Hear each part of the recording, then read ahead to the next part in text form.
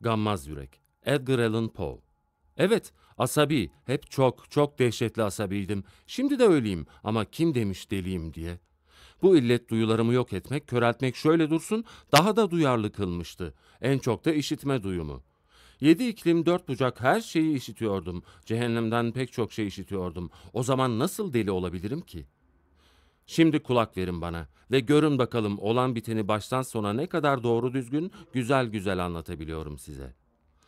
Bu fikrin aklıma ilk nereden geldiğini söylemek olanaksız ama bir kez aklıma düştükten sonra bir daha da aklımdan çıkmadı. Hiçbir niyetim yoktu. Hiçbir garazım yoktu. İhtiyarı severdim. Bana hiçbir kötülüğü dokunmamıştı. En küçük bir küstahlığını görmemiştim. Altınları umurumda değildi. Galiba sorun gözüydü. Evet, oydu sorun. Bir gözü akbaba gözüne benziyordu. Üzerinde saydam bir tabaka olan uçuk mavi bir göz. Bana dikilmeye görsün, tüylerim diken diken olurdu. İşte o yüzden yavaş yavaş ağırdan ağıra ihtiyarın canını almaya, böylece o gözden sonsuza kadar kurtulmaya karar verdim.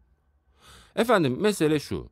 Siz benim deli olduğumu düşünüyorsunuz. Deli dediğin hiçbir şey bilmez. Oysa beni bir görmeliydiniz. Ne kadar akıllıca davrandığımı, işe ne kadar temkinlilikle, ne kadar öngörülü, ne kadar gizlice koyulduğumu bir görseydiniz. İhtiyara hiç onu öldürmeden önceki hafta boyunca davrandığım kadar iyi davranmamıştım. Her gece, gece yarısı gibi kulbunu çevirip kapısını usulcacık açtım. Ah, çıt çıkarmadan. Sonra da kapıyı kafamın sığacağı kadar aralayıp ışık vurmasın diye kapakları tümden kapatılmış bir hırsız fenerini odadan içeri uzattım. Ardından da kafamı içeri soktum. Ah kafamı kapının aralığından içeriye ne kadar büyük bir maharetle soktuğumu görseniz gülmekten kırılırdınız. İhtiyarı uyandırmayayım diye kafamı odadan içeriye yavaşça, çok, çok yavaşça uzattım. Kafamı kapı aralığından içeriye onun yatağında yattığını görebileceğim kadar uzatmam bir saat sürdü. bir delinin kafası bu kadar çalışır mı? Sonra da kafam odadan içeriye iyice girince fenerin kapağını temkinlilikle araladım. Ah hem de ne büyük bir temkinlilikle. Çünkü kapağın menteşeleri gıcırdıyordu. Ancak o akbaba gözünün üstüne incecik bir ışık hüzmesi düşünceye kadar araladım. Ve yedi uzun gece bunu yaptım. Her gece, gece yarısından hemen sonra. Ama göz her seferinde kapalıydı. O yüzden bir işe yaramadı. Çünkü beni çileden çıkaran ihtiyar değil, ihtiyarın kem gözüydü ve her sabah gün ağardığında cesurca odasına girdim. Ona içtenlikle adıyla seslenerek ve geceyi nasıl geçirdiğini sorarak hiç korkmadan konuştum onunla. Sizin anlayacağınız her gece saat tam 12'de uyurken ona göz attığımdan kuşkulanması için ihtiyarın aklıma okuyabilmesi gerekirdi. Sekizinci gece kapıyı aralarken her zamankinden de temkinliydim. Bir saatin yelkovanının bile benim elimden hızlı hareket ettiği söylenebilirdi. O geceye kadar kendi becerilerimin ne kadar akıllı olduğumun hiç o kadar ayırdığına varmamıştım. Zafer duygusuna kapılmaktan kendimi alamıyordum. Orada olduğumu, kapıyı usulcacık açtığımı ve onun gizlice ne yapacağımdan, aklımdan neler geçtiğinden zerre kadar haberi olmadığını düşününce hafifçe kıkırdayacak oldum. Belki de duydu beni çünkü irkilmişçesine yatağında birden kıpırdadı. Şimdi o anda geri çekildiğimi sanabilirsiniz ama hayır. Odası kapkaranlıktı. Göz gözü görmüyordu çünkü hırsız girmişsin diye kepenkler sımsıkı kapatılmıştı. O yüzden kapının aralandığını göremeyeceğini anlamıştım. Kapıyı biraz daha, biraz daha açıyordum. Tam başımı içeri sokmuş feneri açıyordum ki baş parmağım teneke mandaldan kayınca ihtiyar yattığı yerden saç sıçrayarak bağırıverdi. Kim var orada? Kıpırdamadan, sesimi çıkarmadan öyle durdum. Bir saat boyunca put kesildim. Bu arada yeniden yatağına uzandığını duymamıştım. Hala yatağında dikilmiş kulak kesilmişti. Tıpkı benim geceler boyunca duvardaki ölüm bekçilerine kulak verirken yaptığım gibi. Çok geçmeden bir inilti duydum. Ölüm korkusuna kapılan birinin iniltisi olduğunu anlamıştım. Canı yanan ya da kederli birinin iniltisi değil. Yo hayır. Dehşete kapılan bir ruhun derinliklerinden yükselen bir sızlanıştı.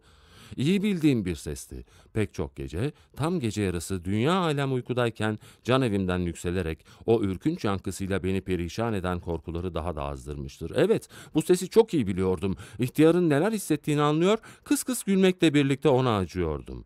Çıkardığım o hafif sesi duyup da yatağında döndü döneli uyumadığını biliyordum. Yüreğine düşen korku o andan beri gitgide büyüyordu.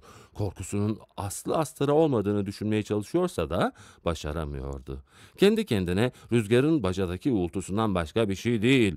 Odanın içinde koşuşturan bir fare yalnızca. Ya da e, cırcır böceği bir cırcır etti işte deyip duruyordu belki de.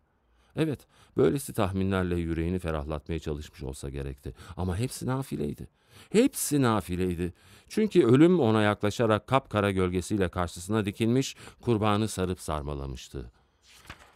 Ve kafamın odadan içeriye uzandığını, görmediği, işitmediği halde hissetmesini sağlayan, ayırdına varamadığı o gölgenin dokunaklı etkisiydi aslında.'' Uzun süre büyük bir sabırla bekleyip de yatağına yeniden uzandığını duymayınca fenerde daracık çok çok küçük bir yarık açmaya karar verdim. Böylece fenerin kapağını araladım. Bilemezsiniz ne kadar yavaşça çıt çıkarmadan ta ki sonunda örümcek ağının iplikçiği ne kadar ince tek bir soluk ışık yarıktan dışarı vurup akbaba gözünün tam üstüne düşünceye kadar. Göz açıktı ardına kadar. Ona bakarken cinlerin başıma üşüştü. Tam bir açık seçiklikle görebiliyordum. Üstündeki o tiksinç perde yüreğimi ürperten uçuk mavi bir göz. Ama fener fenerin ışığını içgüdüyle olsa gerek o kör olası noktaya yönelttiğim için ihtiyarın yüzünü de bedenini de göremiyordum. Sizin yanlışlıkla delilik sandığınız gerçekte duyuların aşırı duyarlılaşmasından başka bir şey olmadığını söylemiştim ya. Şimdi de diyorum ki kulağıma alçak tek düze ivecen bir ses geliyordu. Sanki pamuğa sarılmış bir saatin tiktakları gibi. Bu sesi de çok iyi biliyordum. İhtiyarın kalp atışlarıydı. Trampetlerin sesi askerlerin cesaretini arttırır ya. Bu ses de benim öfkemi arttırıyordu. Yine de kendimi frenledim. Hiç kımıldamadan öyle kaldım.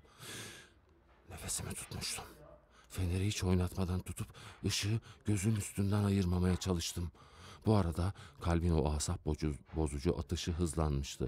Gittikçe daha hızlı, daha yüksek sesle atıyordu. İhtiyarın yüreği ağzına gelmiş olsa gerek. İnanın her dakika daha da yüksek sesle atıyordu. Bilmem anlatabiliyor muyum? Asabi olduğumu söylemiştim size. Öyleyim işte. Şimdi herkesin üzerine ölü toprağa serpilmiş gibi uyuduğu bu saatte bu köhne evin ürküntü veren sessizliğine karışan bu kadar tuhaf bir ses dizginlenemez bir dehşet salıyordu yüreğime. Yine birkaç dakikalar kendime gem, kendimi gemledim. Hiç kımıldamadan öyle kaldım. Ama kalp atışlarının sesi durmadan yükseliyor, yükseliyordu. Kalbi yerinden sökülecek gibiydi. Şimdi de yeni bir kaygıya kapılmıştım. Ses komşunun biri tarafından duyulabilirdi. İhtiyarın vadesi gelmişti. Birden cayırtıyı bastığım gibi fenerin kapağını ardına kadar açtım ve odadan içeri daldım. İhtiyar bir çığlık attı. Tek bir çığlık. O saat onu yere sürükledim. Ağır döşeği de üstüne çektim. İşi bitirmiş olmanın sevinciyle gülümsedim. Kalp birkaç dakika daha boğuk boğuk atmayı sürdürdüyse de hiç umursamadım. Duvarın öbür yanından duyulacak değildi ya. Sonunda durdu. İhtiyar ölmüştü. Döşeği üstünden kaldırıp cesedi yokladım. Evet, kesin ölmüştü. Elimi kalbin üstüne koyup birkaç dakika orada tuttum. Atmıyordu. İhtiyar kesin ölmüştü. Gözü artık huzurumu kaçıramayacaktı. Eğer hala deli olduğumu sanıyorsanız cesedi gizlemek için ne kadar akıllıca önlemler aldığımı anlattığımda bu sanınızdan eser kalmayacak. Gece ilerliyordu. Elimi çabuk tutuyordum ama ses çıkarmadan. Önce cesedi parçaladım. Başı, kolları ve bacakları kestim. Sonra odanın döşemesindeki üç tahtayı söktüm ve parçaların tümünü alttaki kerestelerin arasına yerleştirdim. Sonra da döşeme tahtalarını hiçbir insan gözünün onunkinin bile bir terslik bulamayacağı kadar becerikli ve usturuplu bir biçimde yeniden yerlerine koydum. Silinip temizlenecek hiçbir şey kalmamıştı. Ne bir leke ne de bir kan izi. İnceleyip sık dokunmuştum. Bir leğen yetmişti hepsine. Ha! Bütün bu işleri bitirdiğimde saat dört olmuştu. Ortalık hala zifiri karanlıktı. Çan saat başını vururken sokak kapısının vurulduğunu duydum. Kapıyı açmak için aşağıya inerken gönlüm ferahtı. Artık korkacağım bir şey yoktu ki.